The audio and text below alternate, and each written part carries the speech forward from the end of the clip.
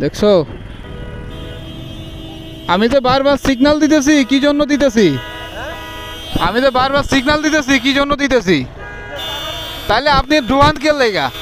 কেন দোকান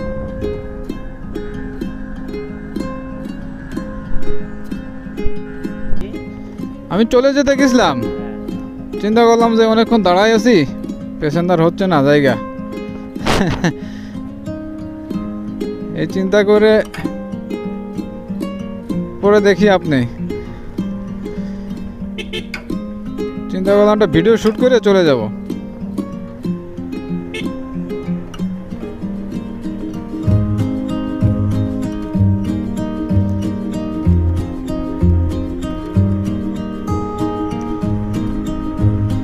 ক্যান্টনমেন্টের ভিতরে একটু সতর্ক হয়ে চালাইতে হয়। তবে বন্ধুদের মাঝে একটা জিনিস শেয়ার করতে চাই। সেটা হচ্ছে একবার আমি একটা প্যাসেঞ্জার নিয়ে কি যে বিপদে পড়ছিলাম। সেটা হচ্ছে কলা বাগান থেকে ওকে, আসেন, দুশো টাকা। পরে দেড়শো টাকা নিয়ে গেছি। যাই হোক নেওয়া পরে যাওয়ার সময় বলল যে আমি র্যাবে চাকরি করি। আসলে উনি র্যাবে চাকরি করেন না। উনি একটা ঠকবাজ আমি পরে বুঝতে পারলাম। কারণ উনি আমার বাইকের উপরে বসে বসে বলতেছিল যে কার সাথে যেন হয়তো অভিনয় করছে, প্রতারকদের যেগুলো করার সেগুলোই করছে। আমি তো সরল মনে ভালো মনে করে কাকে যেন ফোন করছে। ফোন করে বলছে যে এরকম। আহ, আমার একটা ছেলে দরকার সরকারি চাকরি। উনি আবার জিজ্ঞাসা করে যে স্যার এটি কি সরকারি হবে? বলছে তিন মাস পর সরকারি হবে। তো এটা মনে করে চিন্তা করলাম যে আমার ছোট ভাই আছে, ও তো শিক্ষিত।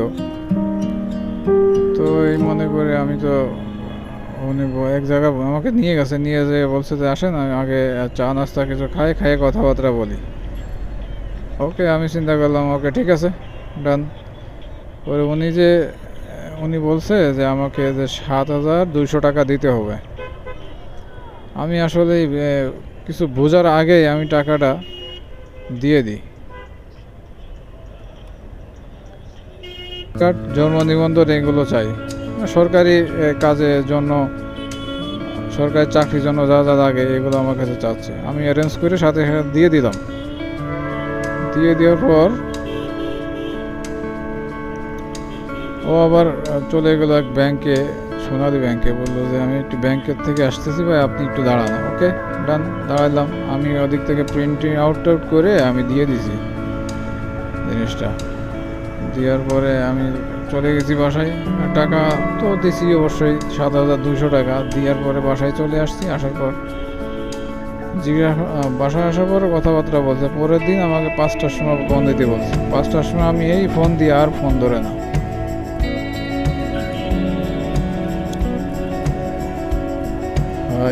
যে বিপদ আসলে প্রতারণা, যাই হোক, আমি বাইকার বাইকার ভাইদেরকে বলি? ভাইয়া, এইরকম বিপদের জন্য আপনারাও না পড়েন। যারা রাইড শেয়ার করেন, অনেক সাবধান, সতর্ক, প্রতারক থেকে সাবধান। কারণ ঢাকা শহরে প্রতারকের অভাব নেই।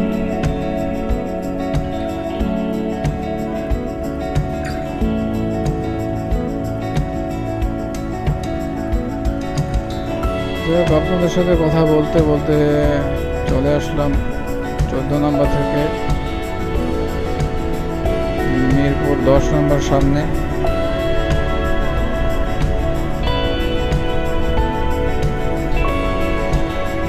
পিছনে একটা প্যাসেঞ্জার নিছি, যাবে হচ্ছে মিরপুর এক নম্বর, সৈনিক ক্লাব থেকে উঠাইছি। পিছনে হরেন দিয়ে তালেই থাকে সামনে গাড়ি দেখে না। চুটিয়া ড্রাইভার।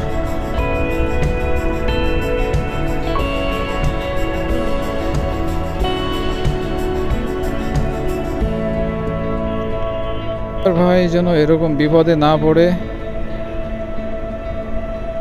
আমি আসলে পুরোই হতাশ হয়ে গেলাম, পুরো বোকা সেজে গেলাম। কিছু টাকা ইনকাম করতে গিয়ে বড় অঙ্কের টাকা আমার চলে গেল। মানে কি বলব ভাই, দুঃখের কথা। এক হলো গার্মেন্টসে জব করি, আর এক হলো মাঝে মধ্যে রাইড শেয়ার করি। রাইড শেয়ার করতে যাই আমি বড় ধরনের প্রতারকের কাছে ধরা খেলাম।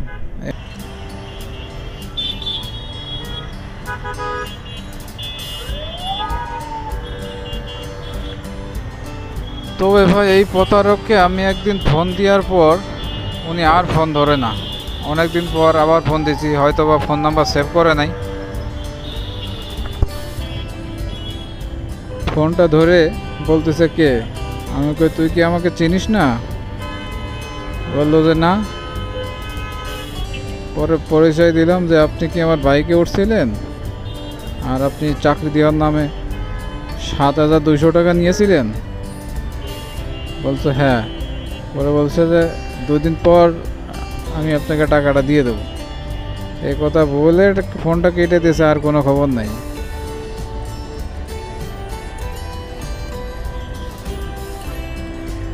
মানুষ এভাবে প্রতারণা করে। কীভাবে ধরবো এগুলারে? ধরতে গেলে ওদের নামে জিডি করলে আরও ভোগান্তের শিকার, দৌড়াদৌড়ি করা লাগে। তো যাই হোক, বাইকার ভাইরা যারা আছেন, তারা খুব সাবধান, খুব সতর্ক হন, যেন এরকম প্রতারকের হাতে আপনারা না পড়েন। এর একটা শিক্ষানীয় বিষয়। ও কিডা? হলো গেঞ্জিটা দেখেন কিডা ও কি দেখতে চাই কে ভাই? ভালো আছেন ভাই?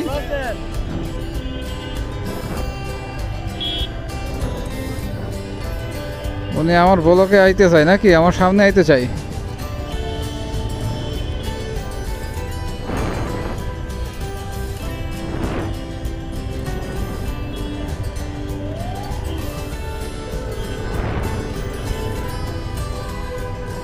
ভাইয়ের বাসা কোথায়? ও আচ্ছা। কি করেন আপনি? কিসে? ও। আমার বসা এখানে দশ নম্বরে।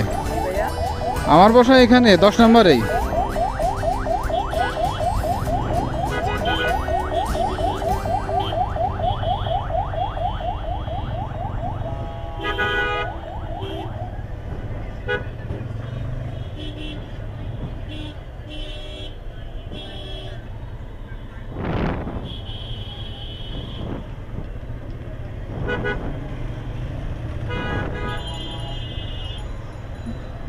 গাড়ি যে প্রেশার এই লোকাল গাড়িগুলো ঝামেলা করে পেস লাগাই রেখে রাস্তার মধ্যে দাঁড়ায় থাকে।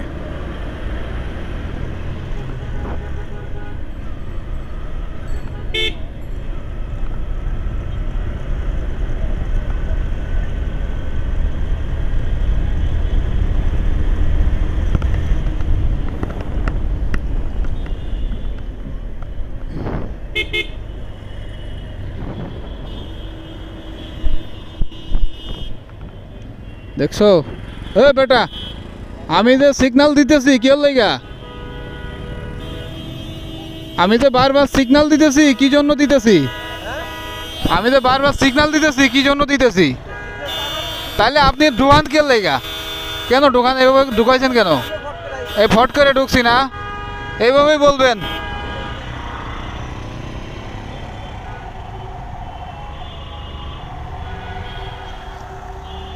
আমি বারবার সিগন্যাল দিতেছি লাইটের সিগন্যাল আপনি কেন দেখেন না এটা? আমি তো জোরে আসতেছি না।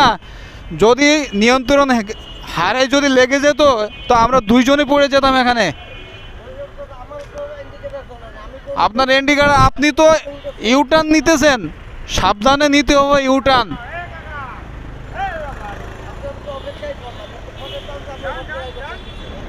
হ্যাঁ হ্যাঁ। এইভাবেই বলেন আপনারা সিএনজিরা যে সিএনজিওয়ালারা কেমন লোক? এ তো সবাই জানে।